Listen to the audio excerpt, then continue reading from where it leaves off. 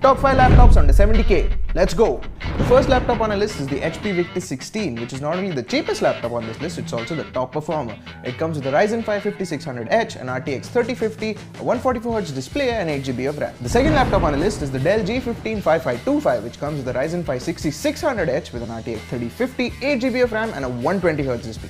The third laptop on our list is the MSI Katana GF66 Thin, which comes with a 12th gen Intel Core i5-12450H, a 3050, 8GB of RAM and a 144Hz display. The fourth laptop on our list is the Lenovo IdeaPad Gaming 3, which comes with a Ryzen 5 5600H, an RTX 3050, a 120Hz display and it's the only laptop on our list with 16GB of RAM. The fifth and final laptop on our list is the HP Pavilion 15, which comes with the 11th gen Intel Core i5-11300H, an RTX 3050, 8GB of RAM and a 144Hz display. So, which of these gaming laptops are you gonna go for? Be sure to let us know in the comments.